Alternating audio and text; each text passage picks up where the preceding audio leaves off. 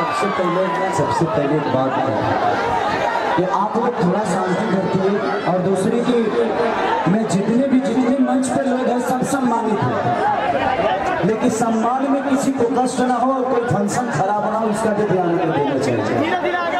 आप सब लालू परिवार के हैं, मैं भी उस परिवार का बेटा हूँ। लेकिन मतलब ये नहीं कि कार्यक्रम भी लालू परिवार का ही है और लालू परिवार के ही लोग खराब करने पर लगे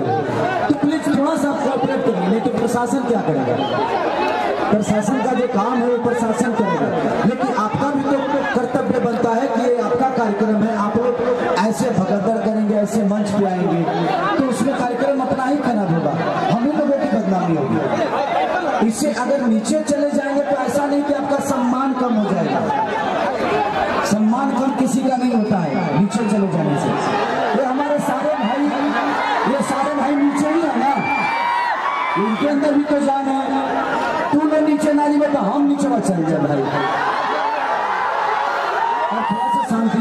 एक्चुअली आप लोग देखिए ये परवीन ये चुनावी माहौल है। यहाँ सबका अपना दायरा होता है। प्रशासन का भी एक दायरा है और प्रशासन भी उसी हद तक ऑपरेट करेगा जितना आप लोग करेंगे। और प्रशासन भी आप सबके लिए ही आया है ताकि आपको कोई कष्ट ना हो।